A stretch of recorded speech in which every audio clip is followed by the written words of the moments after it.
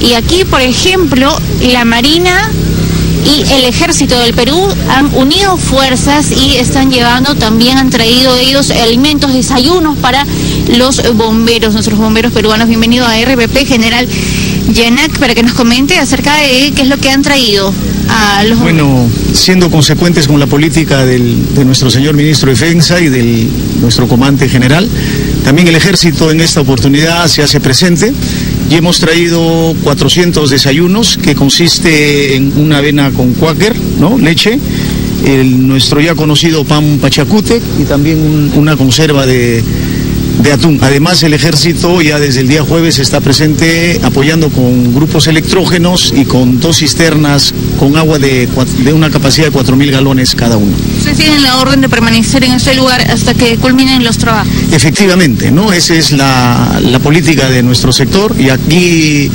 como afrontando el niño costero, ¿no? La Fuerza Armada como una sola fuerza presente también en este siniestro, apoyando de tal manera pues que pueda solucionarse lo más pronto posible. El ejército estará presente apoyando a los bomberos en esta loable y sacrificada labor. ¿Su nombre y su cargo? Yo soy el general Jorge Yanac, soy jefe del Servicio de Intendencia del Ejército.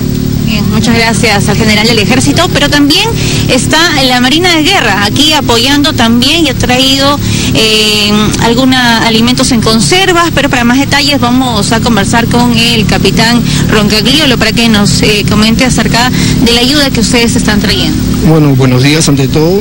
Eh, al igual que el día de ayer, la Marina de Guerra se hace presente para apoyar a las labores que viene realizando los bomberos del Perú.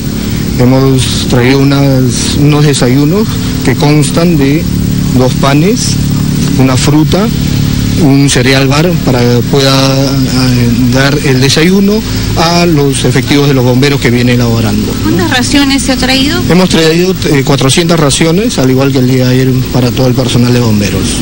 Además de desayunos durante el día, también van a repartir alimentos. ¿Cómo se han organizado? Estamos a la espera de las órdenes, pero nosotros estamos para apoyar. Es muy probable que hasta que continúe el, el siniestro, nosotros estamos viniendo para apoyar. Su nombre y cargo, por favor. Capitán de fragata Juan Roncaliolo Gómez, oficial de votación de la Dirección de Abastecimiento Naval de la Marina de Guerra de Perú. Bien, muchas gracias al capitán de la Marina y esta es de la ayuda entonces que está llegando y no solamente del Ejército y la Marina, también hemos visto pues de personas, vecinos que se han organizado, han preparado ellos mismos el desayuno y pues los están eh, repartiendo a los bomberos que están luchando contra este incendio hoy por tercer día consecutivo.